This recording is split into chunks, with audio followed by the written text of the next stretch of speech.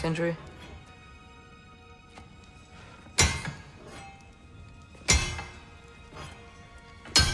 Sindri, I...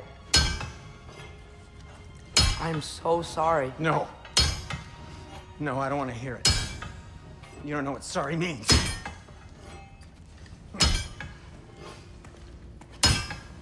We're not letting Odin get away with this. Would that be the Odin you invited into my home? Oh, All fooled. But some of us were bigger fools than others. Aren't we? I gave you everything. My skills.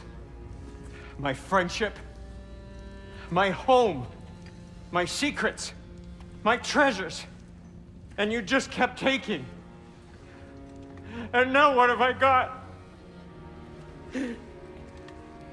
Not even my family.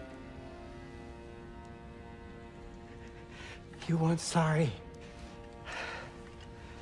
This is what sorry looks like. I... What can we do? We. There is no we. There's only you. No matter what the cost. So what you can do is get the fuck out of my sight.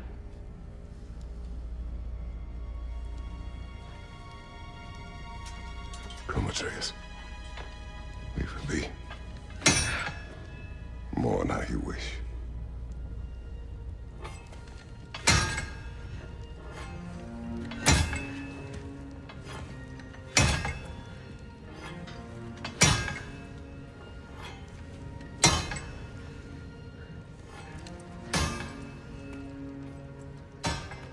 I...